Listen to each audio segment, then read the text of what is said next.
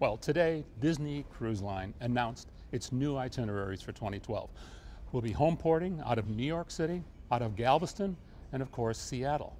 What this is all about is that Disney Cruise Line is offering an array of itineraries that is more convenient than ever before for our guests.